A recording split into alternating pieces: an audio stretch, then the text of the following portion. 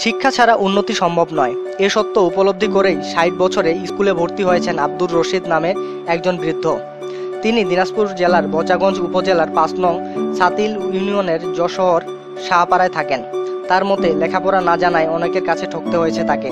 এখন তিনি যশোর সরকারি প্রাথমিক বিদ্যালয়ের তৃতীয় শ্রেণির ছাত্র।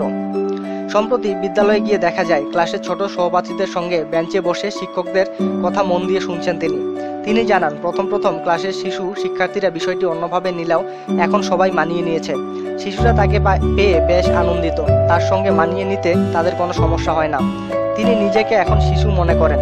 জানা যায়, পনেরো বছর আগে তার স্ত্রী মারা যায়। সে সময় এলাকায় এক ব্যক্তির কাছে তিনি চল্লিশ শতাংশ জমি বন্ধক রেখেছিলেন। এক বছর পর টাকা পরিশোধ করে জমি নিতে গেলে সেই ব্যক্তি তাকে বলেন, জমিটি রশিদ মিয়া বিক্রি করেছেন তার কাছে। সেদিন তিনি সিদ্ধান্ত নেন, লেখাপড়া করবেন। স্কুলে গিয়ে ভর্তি হন প্রথম শ্রেণীতে।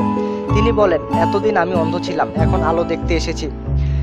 স্কুলের প্রধান শিক্ষক অনিল চন্দ্র রায় জানান, প্রথমে স্কুল কর্তৃপক্ষ ভর্তি করতে অনীহা প্রকাশ করলেও এলাকাবাসীর অনুরোধে তাকে স্কুলে ভর্তি করা হয়। বজাগঞ্জ উপজেলার প্রাথমিক শিক্ষা কর্মকর্তা আরজুমান মান্দ বানু জানান বয়সে বড় হলেও শিক্ষার কোনো বয়স নেই। যেহেতু তিনি শিক্ষা গ্রহণ করতে এসেছেন, এটা অন্য নিরক্ষর মানুষের কাছে অনুকরণীয় হবে। স্কুল ক্লাসের পাশাপাশি তিনি পার্শ্ববর্তী জঙ্গলিপির বাজারে একটি কোচিং সেন্টারে নিয়মিত কোচিং করেন। আব্দুর রশিদ এখন একটাই স্বপ্ন, তাকে শিক্ষিত হতে হবে যাতে ভবিষ্যতে তাকে কেউ ঠকাতে না পারে। এ সম্পর্কে আরও বিস্তারিত জানার জন্য আমাদের সঙ্গেই থাকুন আর সাবস্ক্রাইব করুন।